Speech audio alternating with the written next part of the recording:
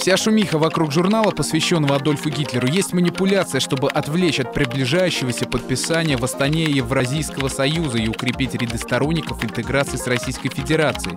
Лучше бы власти предоставили всем возможность познакомиться с самим документом, чтобы каждый определил свою позицию в этом судьбоносном вопросе. Очередной пример откровенного лицемерия казахстанских властей.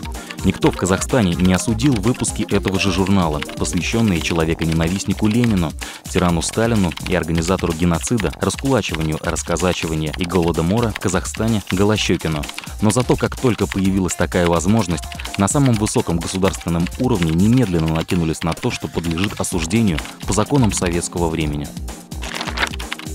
Судя по выходкам так называемых афганцев, которые полностью подконтрольны Акимату Алматы, а также активизации пророссийских СМИ, шум и резонанс по поводу публикации в журнале «Анназадам» создается искусственно. С какой целью и зачем это нужно? В первую очередь, чтобы отвлечь внимание общественности от подписания договора по созданию Евразийского союза в мае. Иначе с какой стати поднялся такой скандал? Нет ничего предосудительного в публикациях этого журнала, я могу вас в этом заверить, как читатель.